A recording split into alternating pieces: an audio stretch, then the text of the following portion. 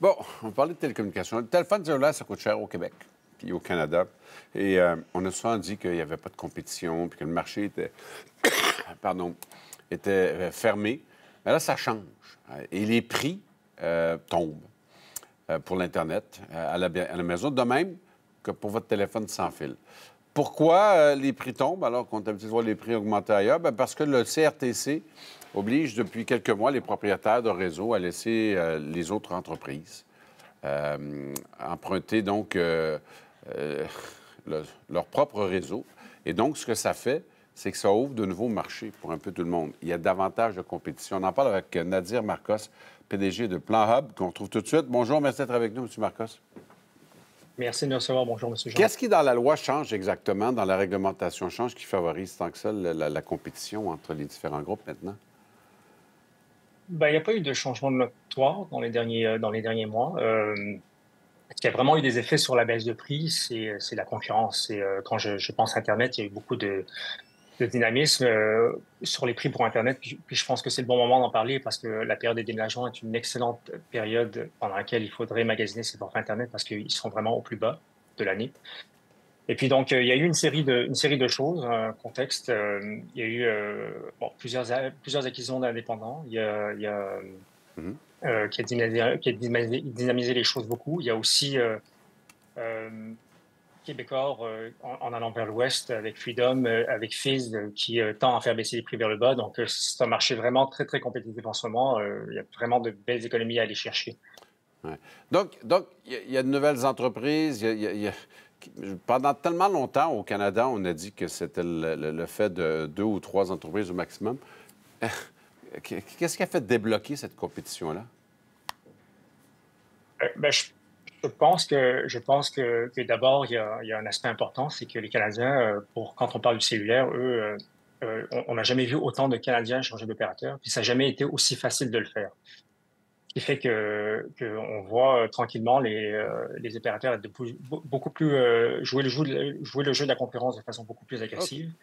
Et donc, euh, comme il y a des, utilisateurs qui sont, qui sont sujets à changement, donc euh, évidemment, les offres sont plus alléchantes et plus agressives. Euh, qu'est-ce que vous dites aux gens qui nous écoutent, qui disent Ouais, ben moi, j'ai un forfait cellulaire, peut-être que finalement, je pourrais avoir un meilleur forfait pour moins cher. Vous, vous leur donnez quoi comme conseil? Ah. ah ben, c'est certain que si vous n'avez pas fait l'exercice depuis un moment, vous laissez de l'argent sur la table. Les prix ont beaucoup baissé dans les derniers mois. et puis la taille des forfaits a beaucoup augmenté aussi en termes de quantité de données. Donc euh, là, l'idée, c'est vraiment de, faire un exercice de magasinage. PlanHub est tout à fait conçu pour ça. Euh, et puis souvent, il y a des belles économies à faire avec assez peu d'efforts quand même, parce euh, une visite chez PlanHub, puis ensuite simplement peut-être appeler son opérateur, renégocier. quand on offre, on, a déjà une offre en main de la concurrence, c'est toujours plus facile de négocier. Qu'il faut savoir pour l'Internet et le cellulaire, c'est qu'il y a vraiment des périodes clés au magasiner. Et puis là, ça tombe bien qu'on se parle encore une fois aujourd'hui, parce que avec les crises du logement, euh, avec l'augmentation des coûts de la vie, euh, les petites économies deviennent des grosses économies. Puis pour Internet, c'est vraiment le moment. Puis les offres vont être encore là pendant une semaine à deux semaines. Donc, euh, et puis elles ne sont pas réservées aux gens qui déménagent. Et donc, pour, revenir sur votre question, pour, pour Internet, vraiment, le, le, timing est important. Donc, Quel genre d'économie quelqu'un peut faire, par exemple, actuellement? Ah ben, puisque je, regarde surtout Internet en ce moment parce que c'est ça qui bouge, euh, depuis avril, ça a baissé quand même de, 33% les prix du mégabit par seconde, qui est l'unité de, mesure de la vitesse. Donc, euh, c'est un peu ça qu'on regarde, nous, chez PlanHub, pour voir euh, l'évolution des prix. Donc, donc, donc ça, ça baisse. Puis pour le téléphone, est-ce que là aussi, ça baisse pas mal? Oui, ça baisse pas mal.